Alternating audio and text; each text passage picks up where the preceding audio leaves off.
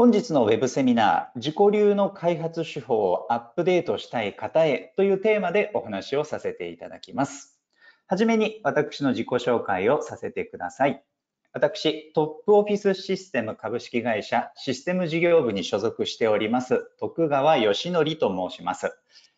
新卒で IT ベンダーに入りまして、プログラマー SE として .NET、Oracle を活用して、え物流システムですとか、業界の向けの、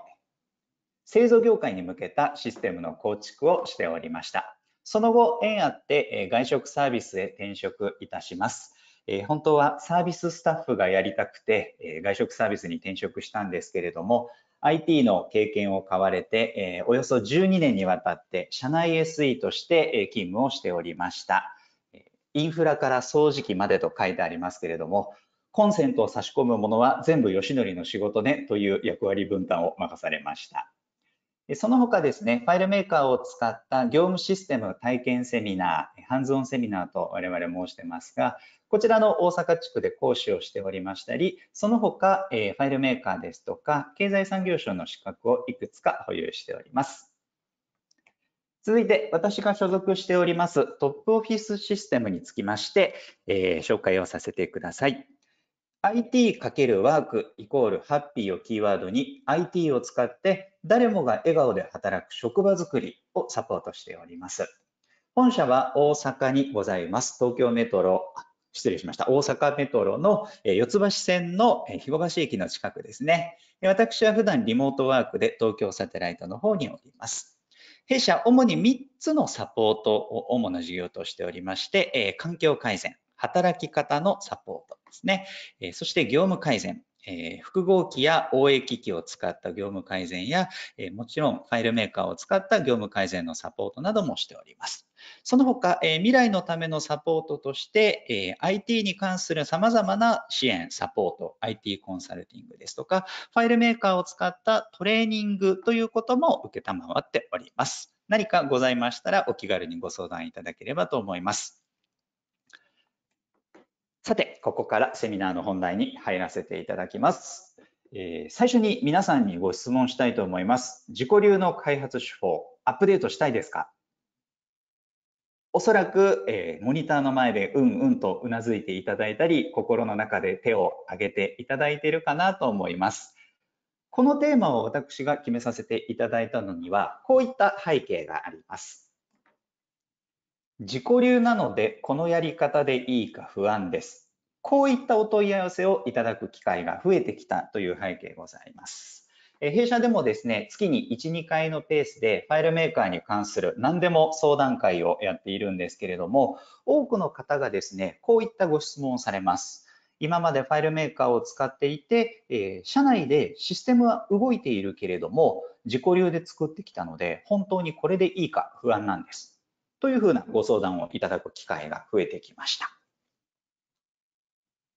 さて、皆さんにちょっと一つ問いかけを投げさせていただきますが、カスタムアップの開発をされるにあたって、皆さんはまず何から始めていかれますか？例えば、テーブルから作っていかれる方、もしくはフィールドから作っていかれる方、レイアウトから作られる方、スクリプトから作られる方、いろいろスタート地点は違うかもしれませんが、ファイルメーカーのいいところというのは、どこからでも作り始めることができるというところですね。ただ、思いつくままにテーブルを作ったり、スクリプトを作ったり、いろいろ付け足していくと、気がつけばこんなことになっている経験はありませんか？リレーションシップグラフを開いてみましょう。ドン。こんな風にテーブルオカレンスが線でつながっています。リレーションがつながっていて、あっちこっちつながっていくことで、最終的に何かクモの巣のようなリレーションシップグラフが出来上がった経験はありませんか？私も一番最初にカスタムアップを作ったとき、気がつけばこんなことになっていた経験があります。これでもご自分が分かればいいという方はおられるかもしれないんですけれども、それこそが俗人化したカスタムアップ。もう自分しかわからないカスタムアップになってしまうというわけなんですね。ただ、これで運用してお運用する中で業務が回っていれば全く問題はないんですけれども、やはりですね、ご自分が何らかのきっかけで、え移動されたりして、カスタムアップのメンテナンスを他の方に託すことになった。もしくは、え新しい方が入ってきてメンバーが増えたことで、その方にもカスタムアップのメンテナンスをしていただくことになったとしたら、このリレーションシップをリレーションシップグラフを渡した状態だと、おそらくすぐに理解できないと思うんですね。その理由としていくつかあります。やはりテーブルオカレンスの関係性が整理されていないということが一番大きいかと思います。テーブルオカレンスの関係性が整理されていないと、どういうことが起きるか。皆さんも見たことがあるダイアログを右側にスクリーンショットで貼り付けております。レイアウト上にフィールドを置こうとしたときに、フィールド指定のダイアログが出てくると思います。ここで、どのテーブルを選択しますかというプルダウンがありますが、これを見ていただくと、すべてのテーブルが関連テーブルとして表示されてしまっています。これは必要に応じてリレーションをつないでいった結果、すべてのテーブルオカレンスが線でつながっている。関連テーブルになってしまっていることで起きてしまうことですね。こうなると、あるテーブルにあるフィールドを配置したいのに、どのテーブルを選んでいいかということがわからなくなってしまいます。例えば右側でも人事効果というテーブルと人事効果2というテーブルがあります。真ん中の方に勤務勤務形態マスターというテーブルがあって、その下に2、3とありますよね。こうした時に目的のフィールドはどのテーブルにあるのかということが一目で判断がつきません。その結果、左側の3番目に書いているポイント、レイアウトやスクリプトで誤ったフィールドを選んでしまう恐れがある。ということで、非常にメンテナンスがしづらいですし、バグの可能性を残してしまいます。また、この理由としてテーブルオーカレンスの名前がそのままになっていることもあまり良くないかと思います。リレーションシップグラフでテーブルを追加していくとですね、自動で番号を振ってくれますよね。何々マスター2、何々マスター3というふうに振ってくれます。これを作っている過程ですと、この2というものは何のために用意したのか、3というものは何のために用意したのかというのを覚えていると思うんですけれども、やはりこれが1ヶ月後、2ヶ月後、もしくは半年、1年経った時に、この〇〇マスター2というテーブルは何のために作ったのか。〇〇マスター3は何で追加したのかということがわからなくなってしまいますし、これを事細かく説明できるかというとなかなか難しいと思います。やはりこれが一つ重要なポイントですよね。半年後の自分はこれを理解できるかどうかということです。そしてまた他の人にメンテナンスを依頼できますか？そういったリレーションシップグラフ、例えばテーブルであったり、フィールドであったり、そういった作り方をしていますか？というところが一つ、重要なポイントになってくると思います。ですので、開発手法、自己流の開発手法をアップデートしていく一つのステップとして、私は俗人化しないカスタムアップの作り方というものを一つの手段として皆さんにもお話をしていきたいと思っております。はい、俗人化しないカスタムアップを作っていくために重要なポイントですね、いくつか挙げてみました。半年後にカスタムアップをメンテナンスする人のことを考えて、まずは作っていきたいと思いますけれども、実際にどこから作っていくかというところで、やはりこの手順で作っていくのが私は、えいいかなというふうに考えております。まず、必要なテーブルを洗い出しします。その次にテーブルにはどんなフィールドが必要かということを考えていきます。そして、開発のためのルールというものをいくつか設けておく、取り決めをしておくと、ご自分以外にも他の方を交えて共同で開発していくために、共同で開発していく際にですね、混乱が起きたりですね、手戻りが起きたり、人によって違うということが起きづらくなっていきます。いくつか例として紹介をしておきます。名前の付け方であったり、主キーや外部キーのつなぎ方、リレーションシップグラフの作り方、テーマというものがあるかと思います。では、具体的にですね、あるカスタムアップを作る手段を考えてみたいと思います。今回は例として、出退金管理のカスタムアップで考えてみたいと思います。出退金管理のカスタムアップを作るときに、どんなテーブルが必要ですかということをまず考えていきましょう。そしてテーブルを考えるにあたって、注目すべきはですね、出退金の管理という業務において、どんな情報、データが発生するかというものをベースに考えていくと考えていきやすいと思います。3つ例を挙げています。必要なのは、まず従業員の情報というものが必要ですよね。誰が出勤したか、誰が退勤したかというものに対して、その方の社員番号であったり、氏名であったり、従業員の方の個人情報ですね、それを残していく必要があるかと思います。そして続いて、A さんが出勤した時刻は何年何月何日何時何分か。また退勤したのは何年何月何日何時何分。この出勤退勤のデータというものがあります。そしてこれは毎日発生するものですね。また、出退勤の管理を行う上で、3つ目の勤務形態に関する情報というものも必要かもしれません。例えば、コアタイム。何時から何時までは必ず、え業務に当たってくださいね。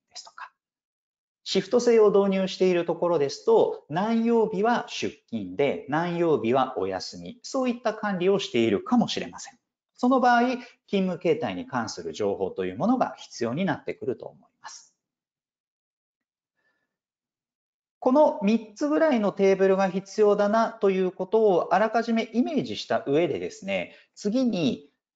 マスターデータとトランザクションデータというものについて考えてみたいと思います。本日参加いただいている皆さんの中には、言葉聞かれたことがある方もいらっしゃると思いますけれども、おさらいも兼ねてですね、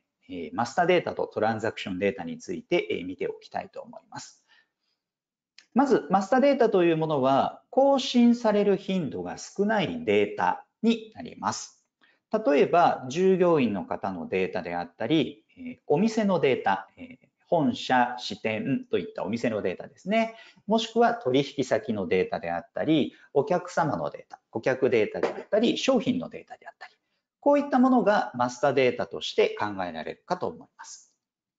そしてその反対に日々発生したり更新されるデータ、増え続けていくデータとしてトランザクションデータというものがあります。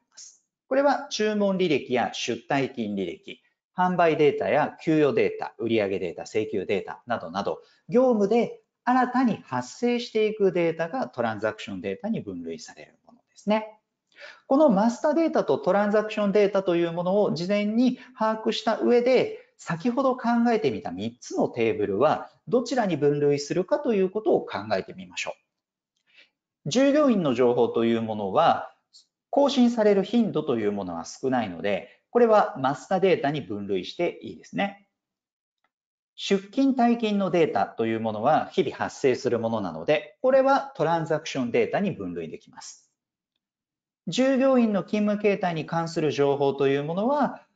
これもあまり更新される頻度というのは少ないと思いますので、マスターデータに分類できると思います。ということで、この3つのテーブルに名前を付けると、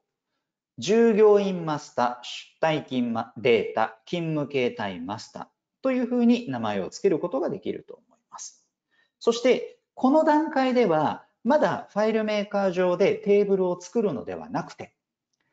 例えば紙、もしくはメモ帳、テキストエディタでもいいので、あくまでメモ書きとして残しておくということをお勧めします。まだこの段階では作り始めないです。作る前に考えておきたいのが、これらのテーブルにはどういったフィールドがあるのかということも先に考えておきたいです。では、今回3つのテーブルを挙げましたので、一つ一つ例を考えてみたいと思います。従業員マスターに必要なフィールドというものは、従業員の情報を格納するためのフィールドが必要です。例えば、従業員コードであったり、氏名、場合によっては姓と名を分けるかもしれないですね。性別、住所、生年月日、入社日や勤続年数というものを設けておく必要があるかもしれません。こういったフィールドが必要だなということを、これもメモ書きに起こしておきます。続いて、出退勤履歴に必要なフィールドを考えてみたいと思います。出勤や退勤をした時の日時を格納していくわけですので、どの従業員が出勤をしたか、退勤をしたかという情報が必要です。その紐付けのために、従業員の方を特定するための従業員コードというものが必要になると思います。そして打刻日時を示すためのタイムスタンプ形式のフィールドが必要ですね。また、この打刻日時は出勤のものなのか退勤のものなのか、それを示すための区分が必要になると思います。そしてその打刻が正常なものなのか、もしくは遅刻とみなすのか、時間外とみなすのか、休日出勤とみなすのか、そういったステータスを残すためのフィールドもあった方がいいですね。そして一番下に取り消しフラグというフィールドを今回作ってみました。括弧書きで1の時は取り消しデータとして扱う論理削除というふうに書いております。論理削除という言葉、初めて聞かれた方いらっしゃるかもしれませんので、解説をさせていただきますと、データベースの中でデータを削除するということがあると思うんですが、この削除について2通りの考え方があります。一つは、ファイルメーカーでもレコード削除というステップや操作がありますけれども、レコードを削除すると、永久にそのデータというものは失われます。実際に消してしまうこと、物理的に消してしまうことを物理削除と言います。データ上は残しておいて、削除とみなすためのフラグや区分を設けておく。そして、このフラグが例えば1の時は、システム上は削除されたものとして扱いますよというふうな扱い方をするのが論理削除ということになります。ここではあえて出退勤履歴に例えば打刻間違いなどがあった時にはデータを消してしまうのではなくて履歴を追ったりですね将来的に問い合わせをいただいた際の調べ物ができるようにですねあえて取り消しフラグを1としてデータを残しておく論理削除として扱うという方法をとってみたいと思います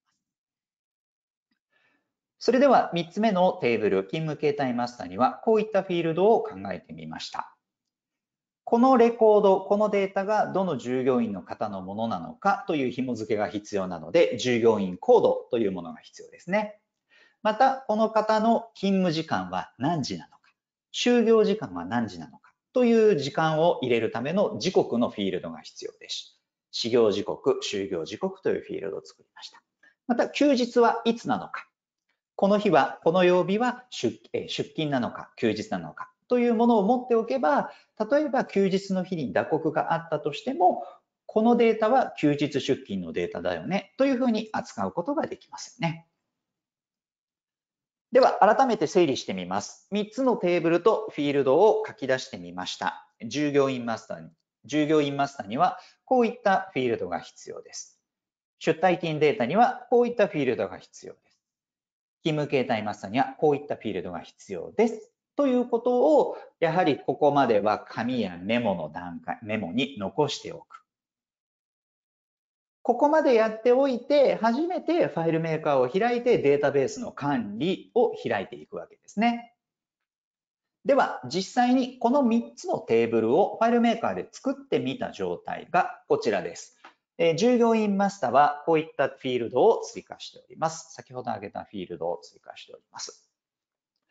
見ていただくとですね、1行目、6行目ほどにですね、横線でハウスですとか、横線でキー、横線でデータというふうに、実際にはデータを格納しないんですけれども、こういったデータベースの管理のダイアログで見たときに、パッと見て、どこが区切りかと分かりやすいような、いわゆる区切りになるものをつけておくと、後々整理しやすいかなと思います。また、えフィールドを探すときにですね、目的のフィールドがどこにあるかなと、え当たりをつけることがやりやすくなってくると思います。ここでは一例として、テーブルを作った時に最初に作成されるいわゆるハウスキーピングフィールドについてはハウスという区切りを設けました。そして、え主キー、キー項目を格納していく場所にはキーという見出しをつけて、え実際にデータを格納していく場所にはデータという見出しをつけました。この状態では14フィールドなので、1つの画面に収まりますけれども、時にはフィールドの数が100、200、300になることもあるかもしれません。そういった時に、こういった横線ハウスですとか、横線キー、横線データという区切りがあると、目的のフィールドが探しやすくなります。一つのテクニックとして、レイアウト上に、例えばタブコントロールやスライドコントロールを置かれる場合、タブごと、スライドごとにこういった区切りをつけてもいいですよね。実際私も、えー、フィールド数が3000ぐらいあるテーブルを過去見たことがあります。目的のフィールドを探すのに非常に苦労した経験があります。次に出退勤データのテーブルを作ってみました。こういったフィールドを格納しております。この出退勤データのレコードはどの従業員のものなのかというものを紐付けるための従業員の情報を格納するものですね。おそらくこれは外部キーという扱いになってくると思うので、名前は FK 従業員というような付け方をしております。次に、勤務形態マスターのテーブルを見てみたいと思います。こちらもハウスキーピングのフィールドと、えキーの格納するフィールド、そしてデータを格納していくフィールドというふうに区切りごとで、えフィールドの位置を調整しております。ここで今 FK 従業員というような名前の付け方を少し紹介しましたので、名前の付け方についてお話をしていきたいと思います。フィールド数が増えてきた場合ですね、どんどん増えてくると、先ほど2000、3000という例も出しましたけれども、このフィールドが何を格納するためのフィールドなのか。また、レイアウトやスクリプトで使う上で、このフィールドはテキストフィールドなのか、もしくは数字のフィールドなのか、計算のフィールドなのかということが分かると、メンテナンスがしやすいケースというものが非常に多いです。ですので、例えば一例としてですね、フィールド名だけで、そのフィールドのタイプがわかるように名前を付けておくと非常に便利かと思います。プログラムの世界では、例えばプレフィックスと呼ばれて、窃盗語をつけて名前を付けましょうというお決まり、暗黙の了解があったりします。ですので、これもですね、一例でフィールドのタイプとプレフィックス、例というものを挙げてみました。フィールドのタイプには、テキスト、数字、日付、時刻、タイムスタンプ、オブジェクト、計算、集計というようなフィールドのタイプがありますよね。これに対して、プレフィックス。例えばテキストフィールドはテキストという文字から txt を取り出して、氏名のフィールドの名の前につけます。Txt 氏名という名称にします。例えば数字フィールドであると、ナンバーの頭文字、num を取って num 年齢とします。といったように、日付であれば頭に d をつけましょう。時刻であれば t をつけましょう。タイムスタンタイムスタンプであれば ts、オブジェクトであれば obj、計算であればカリキュレートの c、集計であればサマリーの S。こういったプレフィックスを頭につけることで、このフィールドは計算フィールドだな。このフィールドはオブジェクトのフィールドだなということがわざわざデータベースの管理からフィールドを見なくても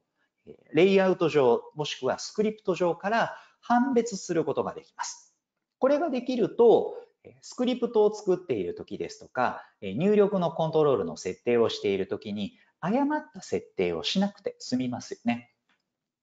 こういった名前の付け方という一工夫があると、他の方にも分かりやすいカスタムアップができるんじゃないかなというふうに思います。では次に、リレーションシップグラフについて見ていきましょう。と、その前に、改めてテーブルオーカレンスについて整理をしておきたいと思います。本日ご参加いただいている方の中には、テーブルオカレンスのことをもう十分把握していらっしゃる方も多いとは思うんですけれども、個別相談会などをさせていただくと、テーブルオカレンスって何ですか？というご質問も非常に多くいただきますので、あえてテーブルオカレンスについても改めて整理、考えをまとめておきたいと思います。ファイルメーカープロのヘルプから抜粋をしてみました。リレーションシップグラフで一つの基本ソーステーブルに関する別のビューのことというふうに説明が書かれております。えー、こういったヘルプを紹介しても、えハテナが、えー、顔に出てくる方が結構いらっしゃるので、改めて、えー、言葉を整理しておきたいと思います。キーになる言葉が2つ。ソーステーブルとビューという言葉ですね。ソーステーブルというのはデータの取得元となるテーブルと書かれています。少しスライド戻ります。先ほど、えー、映しましたスライドの中で、例えば、従業員マスターというテーブルは、こういったフィールドがありますよという、えー、画面がありますよね。データベースの管理のダイアログで、えー、テーブルのタブを開いたときに表示されるものが、実際のソーステーブルだと考えてください。はい、スライド戻ります。次に View。仮想的なテーブルというふうな言葉をよく使うんですけれども、もっと噛み砕いて言うと、テーブルに別名をつけたものだと考えてください。さらにイメージをしやすくすると、例えば Mac ですと、エイリアス、ショートカットですね。Windows ですとショートカットがありますけれども、その実体ではなくて、ショートカットだと考えていただくと分かりやすいかなと思います。このテーブルオカレンスについてソーステーブルとビューの関係性を整理してテーブルオカレンスはビューのこと、ショートカット、エイリアスのことだなというふうにイメージをしていただいた上でですね、いざリレーションシップグラフの作成に移ってみたいと思います。それでは先ほど作った3つのテーブルがある状態で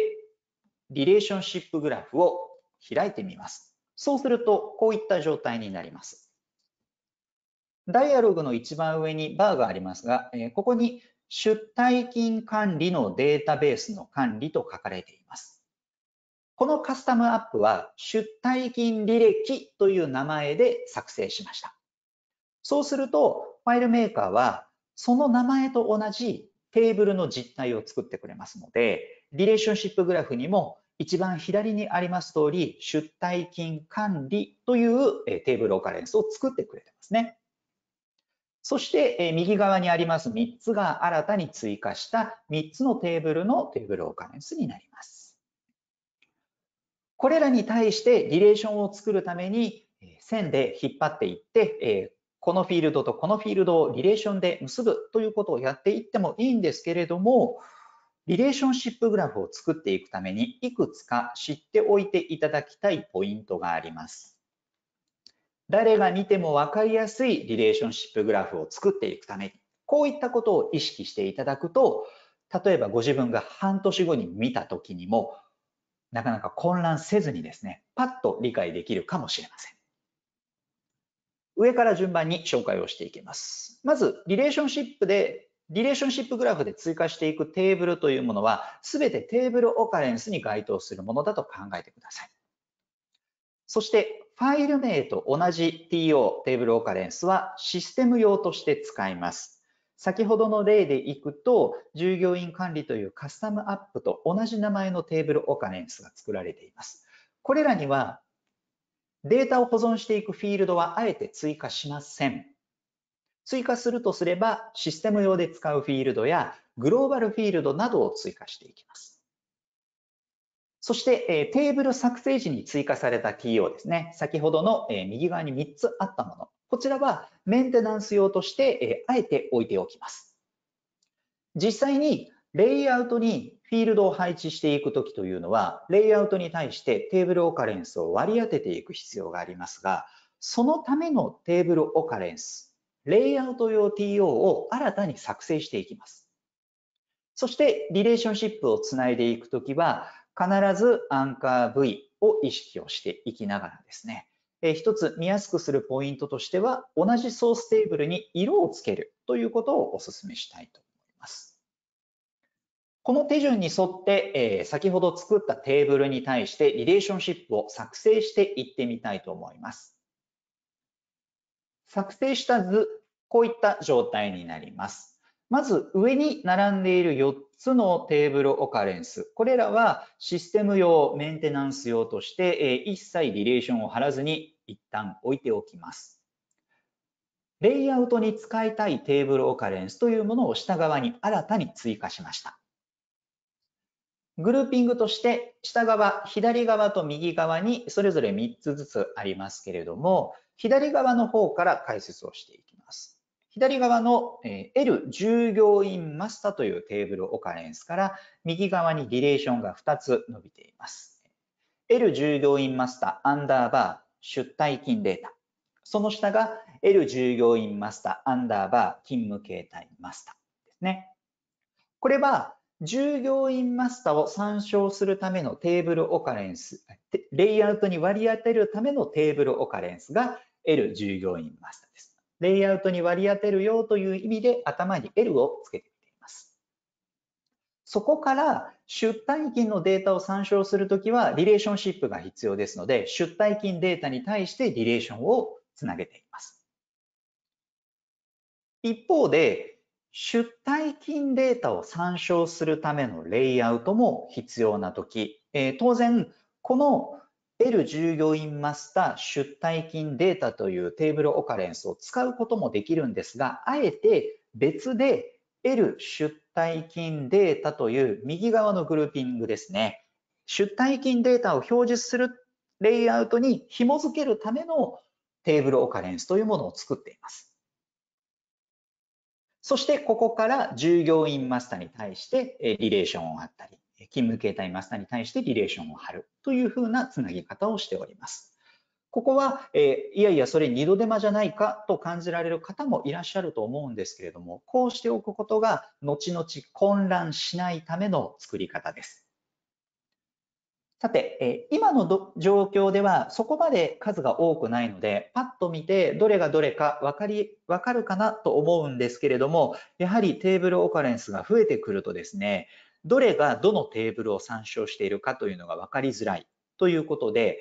下側にいろいろツールが並んでいるんですけれども、このツールから便利なものがあります。色をつけるという機能を使ってみたいと思います。ツールのアイコンの左側から4つ目を選ぶとですね、ソーステーブルが同じテーブルを選択という項目が出てきます。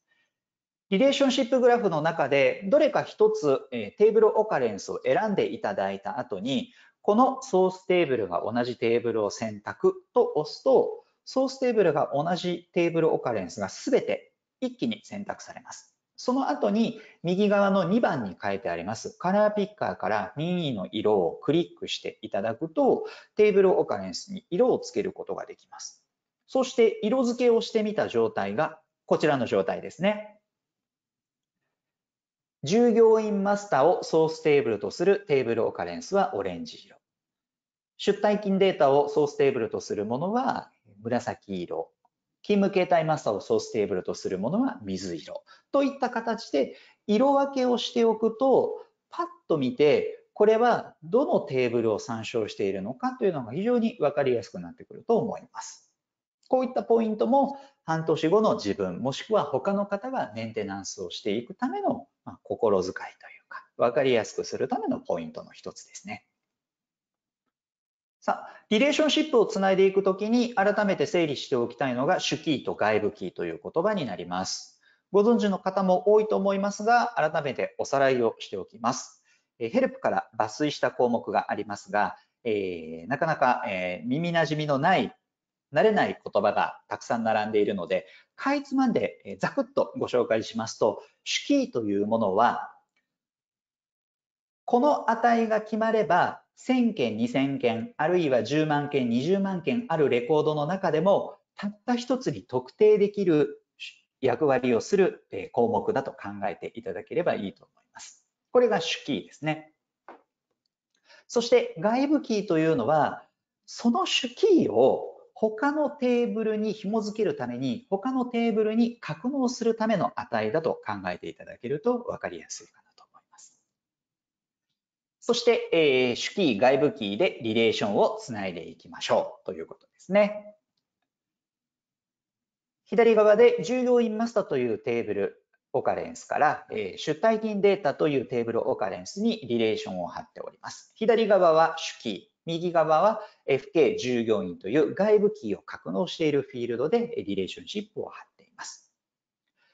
フィールドの値が変わる可能性が限りなく低いフィールドでリレーションを貼っていくものがベストになります。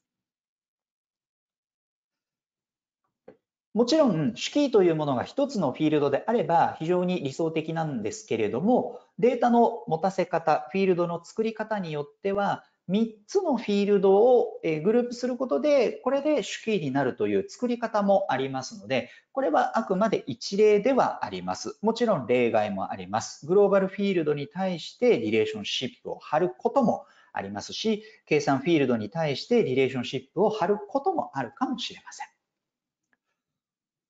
こうやってリレーションシップグラフをきれいに作っていくと、テーブルオカレンスの関連性が整理できていくと、先ほどお見せしたフィールド指定のダイアログというものは、こんな風に左が before、右が after ですね。こんな風に整理されます。ですので、フィールドに何か、レイアウトに何かフィールドを配置するときですね。どのテーブルを選ぶかというときに間違いが起きづらい。関連テーブルの方が先に上にまとまって出てきますよね。そして非関連テーブルというのはリレーションシップがつながっていないテーブル、フィールドになりますので、あえてここからフィールドを選ぶということは、おそらく可能性としては低いと思います。しかしなぜ選ぶことができるのかというと、やはりその非関連のテーブルからデータを参照したり、テーブル、え、フィールドを配置するというケースがあります。その一つがグローバルフィールドになります。グローバルフィールド、すでに使ったことがあるよという方も多いとは思いますが、こちらもですね、質問をいただくことが多いポイントですので、ご紹介をしておきます。ヘルプから抜粋をしております。なかなかこれも聞き慣れない言葉がたくさん出ておりますけれども、あえて簡素化したスライドをご用意しております。グローバルフィールドのポイントをまとめておきました。すべてのレコードで同じ値が格納されるフィールドがグローバルフィールドです。あるテーブルの中で、例えば1000件、2000件レコードがあったとしても、グローバルフィールドの中にはすべて同じ値が格納されます。そして2番目、コンテキストに関係なくフィールドにアクセスできる。これは関連テーブルでなくても、非関連テーブルでもフィールドにアクセスできるという特徴ですね。そしてデータベース、カスタムアップを共有すると、ホストしたデータベースではこんな特徴もあります。セッションごとに独立した値が維持される。A さんがファイルメーカープロを開いてカスタムアップを開きます。そして B さんが別の端末でカスタムアップをファイルメーカープロで開きます。こうしたときに A さんと B さんはそれぞれ別のセッションでファイルメーカーサーバーにアクセスをしている状態にグローバルフィールドはセッションごとに独立した値が維持されるので、例えば A さんが使用しているときにグローバルフィールドの中に100という値が入ったとしても B さんの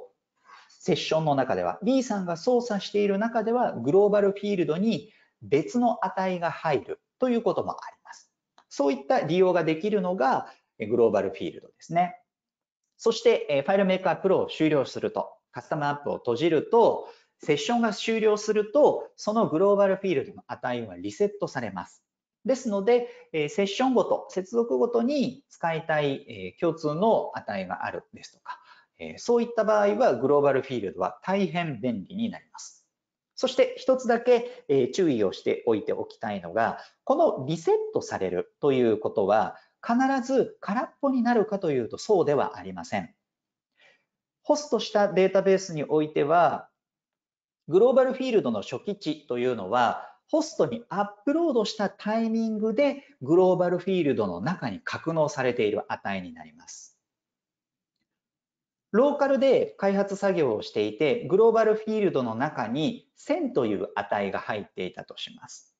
その状態でデータベースへアップロードすると、ホストへアップロードすると、そのグローバルフィールドの中には1000という値が入ったままになります。これをクリアしたい場合は、一旦ローカルでグローバルフィールドをクリアした状態でもう一度ホストにアップロードをするか。もしくは、データベース上でファイルを開いたときに必ず実行されるスクリプトなどを仕込む仕込んでおいて、グローバルフィールドを初期化するというふうな操作が必要になってきます。グローバルフィールドの活用例としてどんなものがありますかというご相談も受けることが多いので、一つ例として紹介をしておきたいと思います。こういった事例を考えてみました。新規登録時にキャンセル機能を実装する場合ですね。カスタムアップの作り方のご相談をいただく際にですね、えー、作っていただく、作られたものを拝見する機会が多いんですけれども、例えば何らかの画面で新規登録をする。新規登録をした途中でやめる、キャンセルするという場合ですね。こういった作られ方をしているケースが多いように見受けられます。一般的な例でいきますと、まず新規レコード作成します。そしてレコードが作られました。入力している途中でやっぱやめたということで、キャンセルボタンを押したときに、そのレコードを削除するという操作を入れておられるケースですね。もちろん、これでも間違いではありません。ただ、キャンセルされる可能性があるのであれば、できる限りデータベースへの変更というものは最小限にしたいので、キャンセルされる可能性があるのであれば、1の時点でレコードを作成しておきたくないというケースがあります。そういった場合、グローバルフィールドを使ってこういった実装ができたりします。まず最初にグローバルフィールドに入力をしておいて、登録ボタンが押されたタイミングで新規でレコードを作りましょう。こういったスクリプトなり実装なりという方法もあります。これを改めてレイアウト上に実装してみると、一つこういった例になります。従業員登録というレイアウトを一つ用意しておいて、この中に従業員コード、氏名、性別というグローバルフィールド3つを配置しておきます。従業員新規登録のボタンを押された時点で、このレイアウトを開いて、グローバルフィールドに値を入力してもらうわけですね。そして登録ボタンが押されたタイミングで、このグローバルフィールドの中に入った値を使って、新規レコード作成を行います。ただ、キャンセルボタンを押された場合は、レコードはまだ作っていないので削除する必要もなく、このグローバルフィールドの値をクリアするだけで OK という、え実装の方法もあります。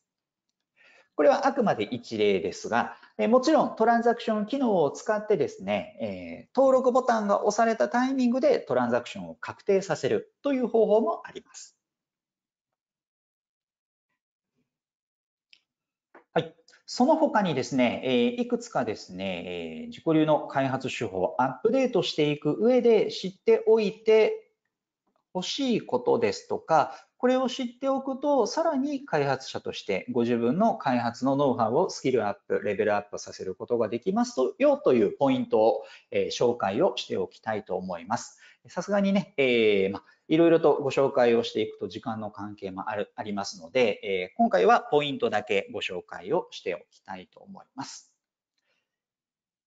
データベースの考え方、データベースに関する仕組みというものを深く理解をしなくても、えー、作っていくことができるのが、やはりファイルメーカーのいいところではあります。ところが、データベースの考え方を知っておくと、より理解が深まるのもファイルメーカーです。先ほどご紹介しました、例えばテーブルオカレンス。これについては、データベースの3層スキーマという、えー、考え方がありますが、これを知っておくと、テーブルオカレンスの理解がより一層深まります。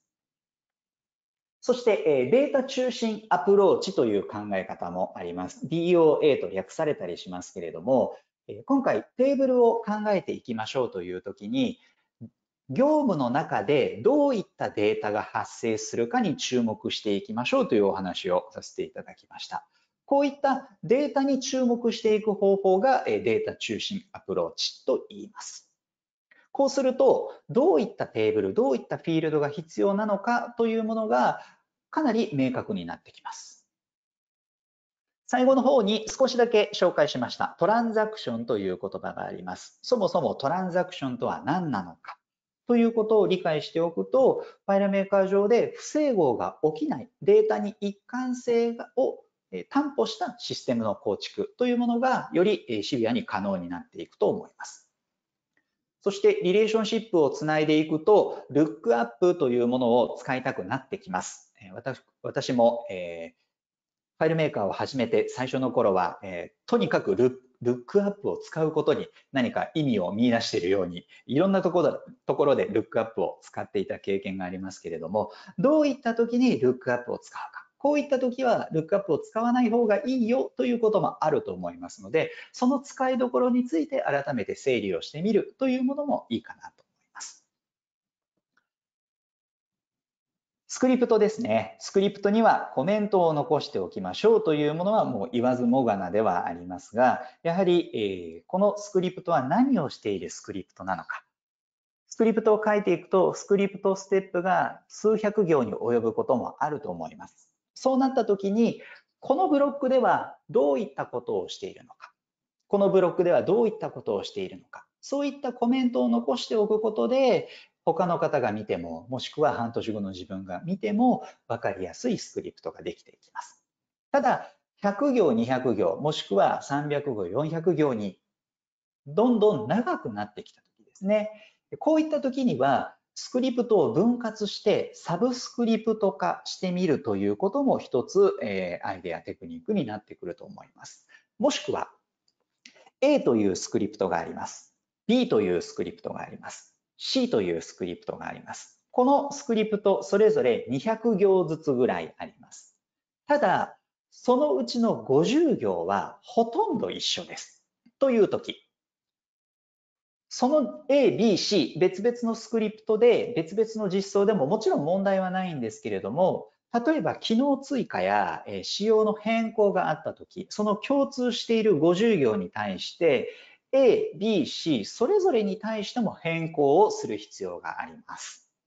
となると、一つだけ変更の漏れが発生するということもありますので、この共通部分を別のスクリプトとしてサブスクリプト化しておくということも一つの手法ですね。